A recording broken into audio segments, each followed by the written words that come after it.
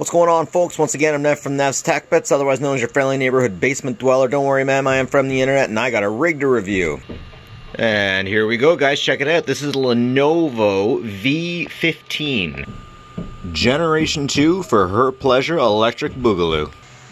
So first things first, the price is relatively good on here, but I'm not particularly fond of the way that they made the top of it because you can see fingerprints and like gravy prints and whatever. Oh my goodness, you can tell I've been painting with my daughter. Interesting to see that Lenovo's decided to go back to a pin kind of power. I gotta say, the plastic casing on this thing feels kinda eh, when it comes to Lenovo, but uh, if you were comparing it to an Asus, perhaps.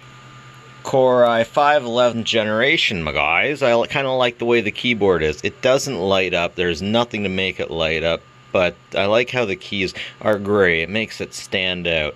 There's uh, only a little bit of flex. It's pretty solid. Does anybody even care about flex these days? Flexes and bezels.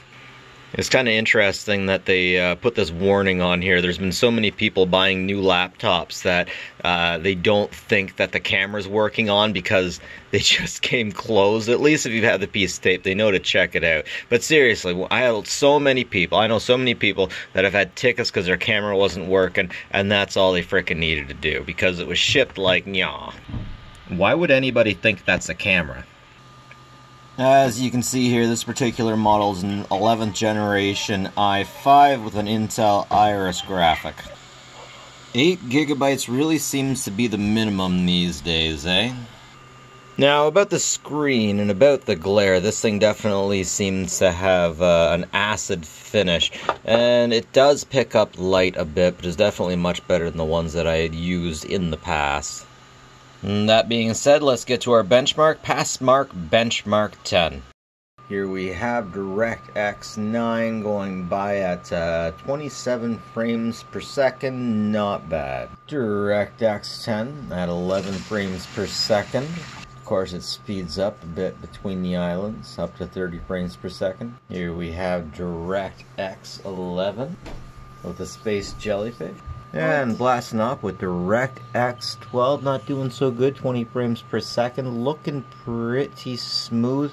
Once again, this thing is uh, more of a business laptop than a video game thing, but uh, I always get people asking me how old systems can do uh, with video games. And one day this will be an old system. And we end up with a score of 2,337. That's uh, not so bad. Next up, let's try some Fortnite. Alright, we're off to a good start. That bus is looking pretty good. I am getting some kind of lags, but you will notice that you can see most of the roads from the sky. There's a lot to be said about that, and you can definitely notice a little bit of lag. Geez, I'm only getting 6 frames per second. Okay, that's interesting that I can see the road from so far away, but the lag is so real.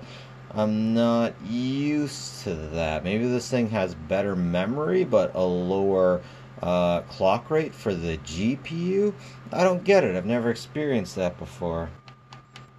So yeah, it looks really good, but things generally, well, except for this, generally load in pretty nicely.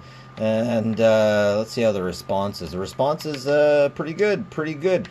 But there's just something up, like the frames per second's a bit, well, maybe not as bad as it was.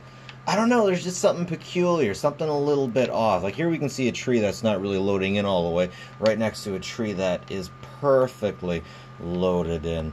I'm getting high frames per second, but I'm also getting a lot of jittering.